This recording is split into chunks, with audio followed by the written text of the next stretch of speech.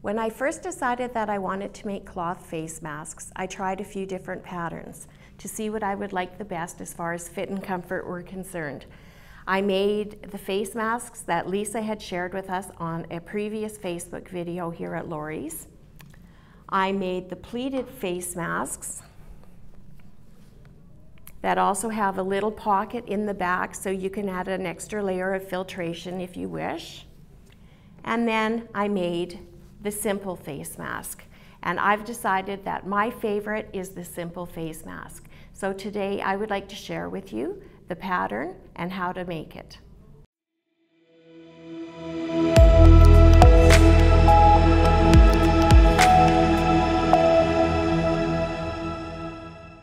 Hi, my name is Gail and I'd like to welcome you to How Tuesdays at Lori's Country Cottage.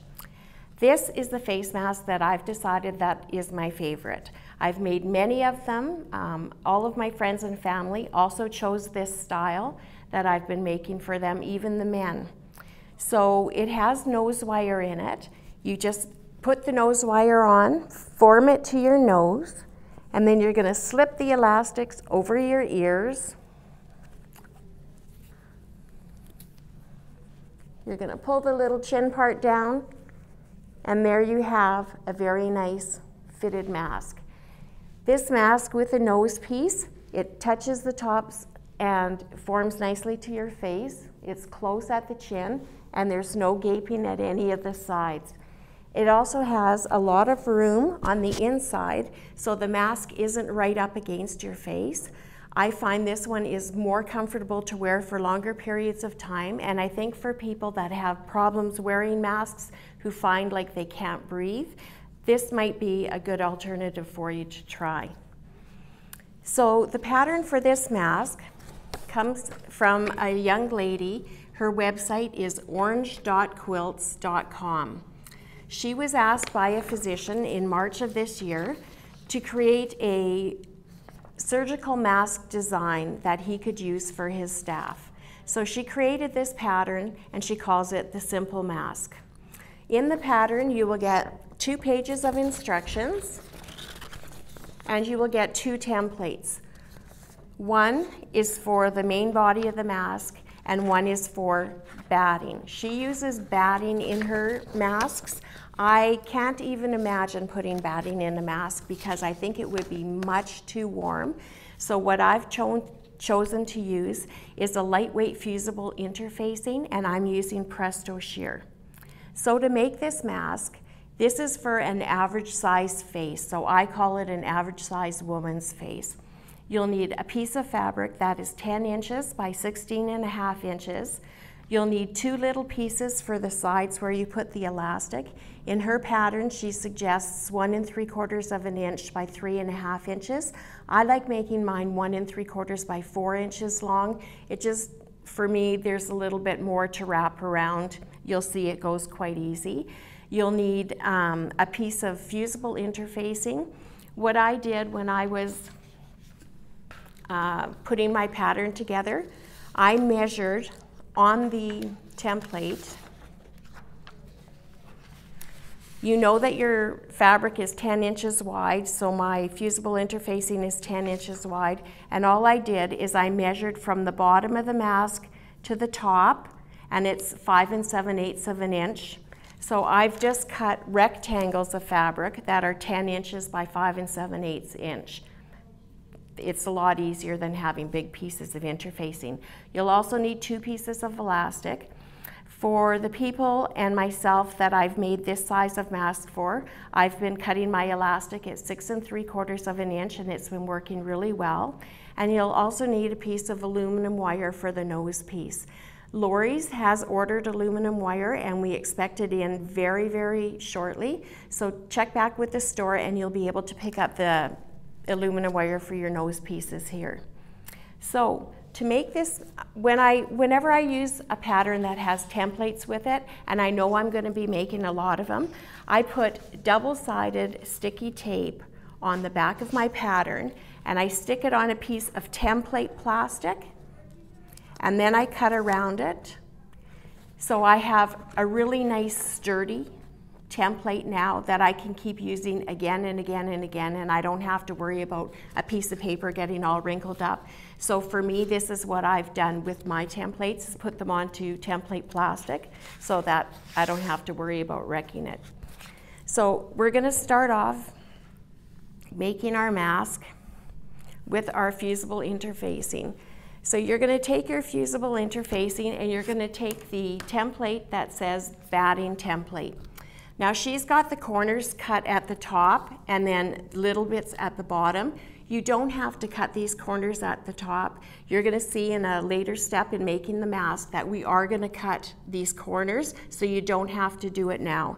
So all I do is I lay out my piece of interfacing. I put my template onto it and then I just take my rotary cutter, which is hiding on me right now. And you can use a ruler or just freehand it. And I just cut along the edge of my template to trim off that little bit. This is the part that goes down um, in your chin area. And now your bad uh, interfacing is ready to go. So what you're going to do next is you're going to take your piece of fabric that's 10 inches by 16 and a half and you're going to fold it in half and then you're going to press it, matching all the raw edges. Whenever I'm using um, a patterned fabric for this, because I've made some with solid colors, I look at this now. The folded edge is going to be the edge that's up at your nose. So I look at it and I decide, do I like this little bit, you're going to be measuring down a bit, so you're going to look at about this area. Do I like the pattern on the fabric better on this side, or do I like the pattern on the fabric better on this side? So choosing that will help you determine which part you want to be facing out because you're going to put your fusible interfacing on the piece that's going to be touching your face, so the back. So I've decided that I like this you're going to open this up. You're going to lay your fusible interfacing down and tuck it right up in the crease. Put this back down and you're going to use a hot iron to fuse it. Okay? Once you've got it fused, and I already have a piece fused in here, we are going to take our template for the mask and you'll see that there's a line at the top and it's called shaping pocket. That's actually the little line that gives you a guideline of where to put your nose wire. So you just lay that down on your mask. This nose wire has a little bit of adhesive on the back, so I just peel off this plastic strip and I just center it right up to the crease, just centered more or less using those little dashed lines as a guideline. Once I've got that in there, I'm going to shut this once again. And you have to sew this little nose, nose piece wire in there. So I take a pin and I feel where the end of my wire is and I put a pin there and I do the same on the other side. This is so that when I'm sewing this in, I'm not going to actually sew right onto my aluminum. I know where I have to start and stop. So when I put this in under my machine, I'm going to start sewing somewhere not at either end, somewhere in the middle. I sew all the way down. I pivot. I backstitch. Then I come forward again. Sew all the way to the other end just past my pin, I pivot, I backstitch, I come back, and then I sew back down to where I started. So I've actually got a double line of stitching holding my nose wire in. So once you have your nose wire stitched in, it's going to look like this. So you have to know which is the front and which is the back. So the back is the part that's got the fusible interfacing on it. The front has nothing on it.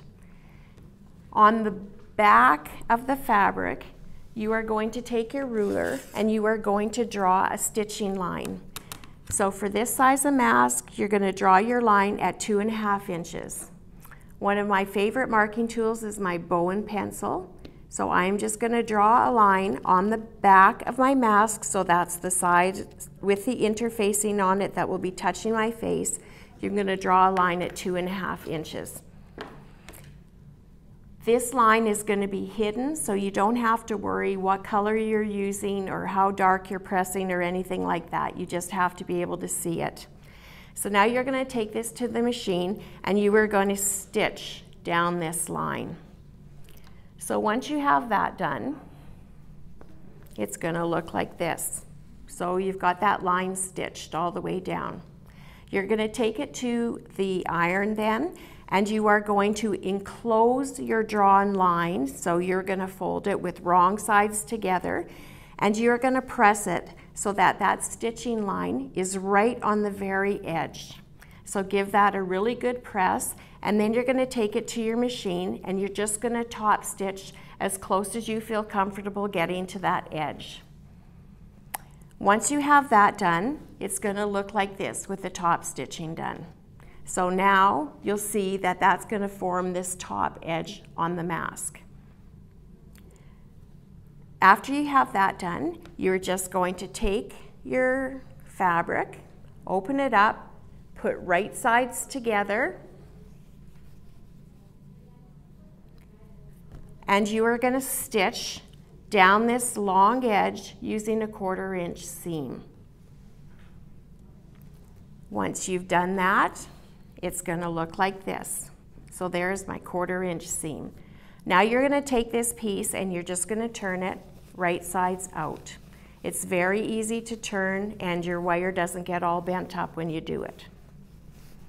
So turn this right sides out and then you need to press that seam that you've just made.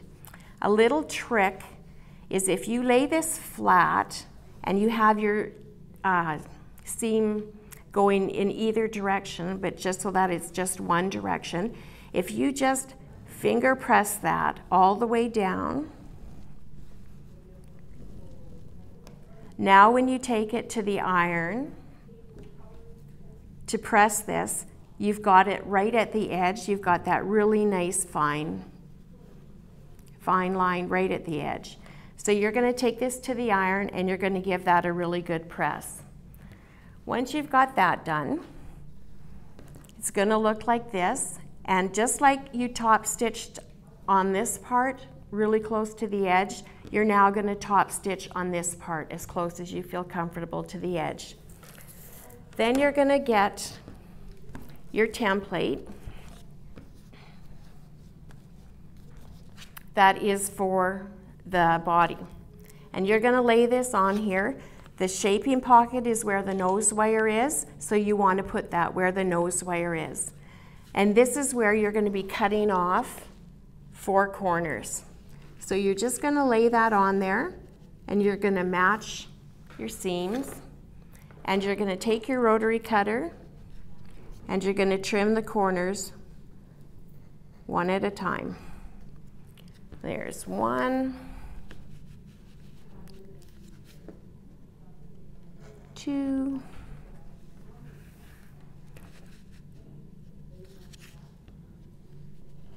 three, and finally number four.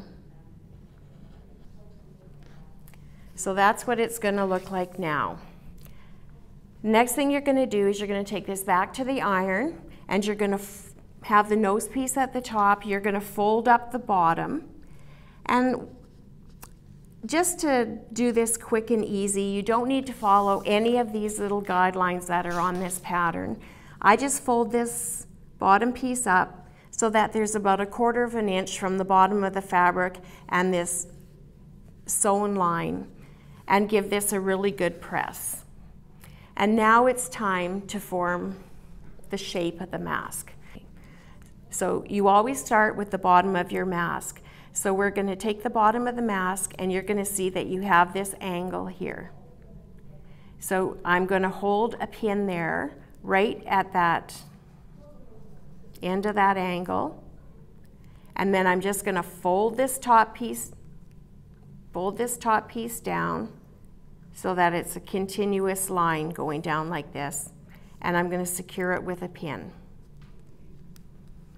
Then you're going to take the top part that has the nose wire and you're going to fold that down. Once again, I take a pin, I just put it right there at that angle to hold it, and I'm just going to fold it down so that it now forms a straight line. And I secure that with a pin. So I don't have to fiddle with this anymore or worry about it. I take this to my sewing machine and in less than a quarter of an inch seam, I just stitch all the way down just to hold these pieces in place. Once you have those sides done and you've got it stitched just to hold it in place on both sides, it's time to put your elastic on. So you're going to take your elastic and you're going to turn it to the right side and I've already put mine on. You're just going to put it so you have about 3 eighths of an inch or so from the bottom. Make your elastic meet at the raw edge. And I just stick this under my machine, I shorten my stitch length, and I just go back and forth a few times to really secure this elastic so there's no way that it's going to pull out from using the mask. You're going to put the one side on, then you're just going to make sure you don't twist it. You're going to put the other side down and you're going to just stitch again to secure that elastic. Just be consistent. There is no magic number how far this has to be. I just have mine up about 3 eighths of an inch or so. So you're going to secure your elastic on your mask on both sides. Once you've secured your elastic, then it's time to put these side pieces on. So you're just going to put it right sides together, make sure your elastic is out of the way, and you're just going to basically put the mask piece in the center of your little side pieces. So you have a little bit sticking out of each side. That's where you're going to turn it down. So she said in her pattern, as I said before, to make these three and a half inches long. I make mine four inches long. I like having this amount to turn over. So all you're gonna do is you're gonna turn that over there and you're gonna start stitching. You're gonna come down and then you're gonna turn the bottom up and you're gonna stitch this on all the way down with a quarter inch seam. I backstitch at each end, making sure that I go over the elastic again to secure it. So once you get that on both sides, it's going to look like this. It'll actually look like this when you have it all sewn on. So there I've sewn it on. Looks like that. Just pull it. And you're going to take this to the iron and you're going to press it. So just press this so that this is even with the bottom, even with the top edge. Same thing on this side. We'll do it on this side because I've already pressed this one. So I folded my sides in. Then you're just going to take this and you're going to fold it down about a half an inch. It's not quite meeting your seams. Then I fold it one more time over top of my sewing line. You want to make sure at this point that once you fold it, it extends past where your seam is because you're going to take this to your machine now. And I don't stitch on this end piece. I've been stitching in the ditch because my machine likes it better when I do that and my stitching is hidden. So all I do now is I take this to my machine I backstitch and I stitch all the way down, stitching in the ditch and backstitch again. You want to be sure that when you're stitching that you're getting this fabric all caught in the back. So you're going to do that to both sides and then you're going to have your mask all made. One more thing about these face masks. Like I told you, I consider these to be an average female face, which is what I consider um, myself. Uh, the men in my life, these were a little bit too small for them. So what I did is I took the pattern and I enlarged it to 108%. So it just made this mask just a little bit bigger for the men and it fits them really, really well. And of course, you're going to have to make the elastic a little bit longer too. The men in my life, the elastic worked out to be eight inches long. My sister has a very small face, so these were too big on her. So I reduced the pattern to 90% and they fit my sister perfectly. And the size of elastic that I cut for her is six and a quarter inches. I also tried um, the smaller size face mask on my eight year old grandson, and the smaller size works really well for him. If you have an even smaller child that you want to make it for, just take the pattern and reduce it in size. Um, I think that if I were to make uh, a mask for a five year old or something like that, I would probably start with reducing it to about 80% and see how it went. Um, but I know that the smaller size reduced to 90% fits my eight year old grandson just fine. So I hope you enjoyed this tutorial on how to make this mask. I am going to be coming back and I'm going to be sharing with you a few of my favorite things, which was Lori's challenge for all of us here at the store this summer. My favorite things are some of the Studio 180 design tools and I'm excited to share them with you. Thanks for watching.